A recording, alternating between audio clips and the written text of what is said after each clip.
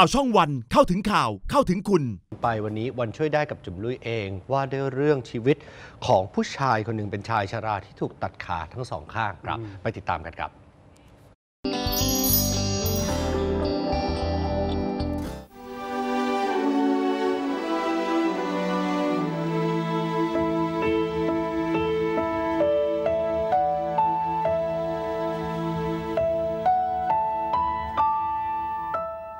ลุงคะออกกำลังกายกล้ามเนื้อแขนใช่ไหมคะ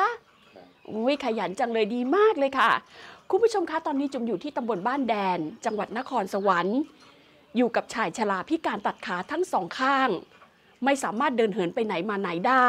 ชีวิตที่แสนรันทดนี้จะเป็นอย่างไร วันช่วยได้กับจุ๋มลุยเองค่ะ เอาฝึกเลยนะคะ คุณตาขาเก่งจังเลย เก่งมาก วันนี้จุ๋มลงพื้นที่มาที่ตำบลบ้านแดนจังหวัดนครสวรรค์ มาสัมผัสชีวิตชายชรา ชื่อชุบ ที่พิการขาทั้งสองข้าง ถูกตัดขาจนถึงหน้าขา ลุกนั่งก็ยาก จะนอนก็ยาก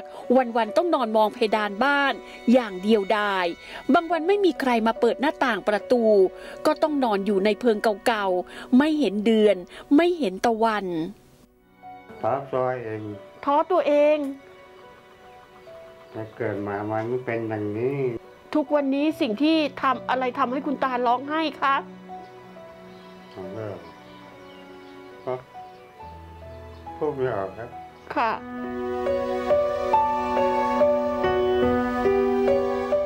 สภาพของตาชุบเป็นที่น่าเวทนาของคนประแวกนั้น โชคยังดีที่มีทางอสมของตำบลที่คอยเที่ยวมาดูแล หาข้าว หาน้ำเช็ดเนื้อเช็ดตัวบ้าง พอให้ตาชุบอุ่นใจ เป็นอย่างนี้มานานกี่ปีแล้วคะเป็นยังไงก็ประมาณ 5 ปีครับค่ะตอนแรกเขาก็รับจ้างทั่วไปนะครับ แล้วไปรับจ้างขึ้นต้นมะขามหรือไงนะครับจำไม่ผิดนะค่ะก็ได้ตกลงมาครับขากระแทกพื้นเออแล้วอักเสบไปเรื่อยๆ คุณตาก็จะไม่ค่อยดูแลเนาะนึกก็ไม่เป็นอะไรก็เกิดการอักเสบ แล้วก็เลยตัดขาครับติดเชื้อครับ ความสุดแสนที่เกิดขึ้นกับตาชุบตอนนี้ มันเป็นอะไรที่บอกไม่ถูกกับชีวิตของตา กรุ๊ปมอบกำลังใจให้กับตาชุบ ได้ที่เลขบัญชีของตาชุบ และคณะกรรมการโดยตรงเลยนะคะ เพื่อให้ตา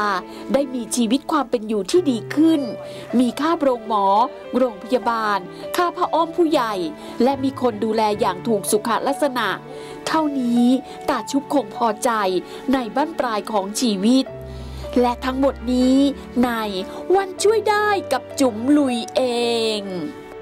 สนับสนุนโดย สถาบันพัฒนาคุณภาพวิชาการ หรือพอว กบเครื่องเรื่องป่าบร้ากลิ่นป่าบร้าต้องจ่าวิรัตสำนักงานหลักประกันสุขภาพแห่งชาติ หรือสอปอสชครับขอบคุณวันช่วยได้ครับจุ๋มลุยเองด้วยแล้วกันนะครับ แล้วก็เป็นกำลังใจให้กับคนที่กำลังเผชิญอุปสรรคอยู่ตอนนี้ทุกครับคนทุกแบบนะฮะ สวัสดีครับ ผมจัดทีมะ อย่าลืมกดไลค์ กดแชร์ กด subscribe YouTube ข่าวช่องวัน จะได้ไม่พลาดทันข่าวทันทุกเหตุการณ์ เปิดเผยทุกความจริง จากทีมข่าวช่องวัน เข้าถึงข่าว เข้าถึงคุณ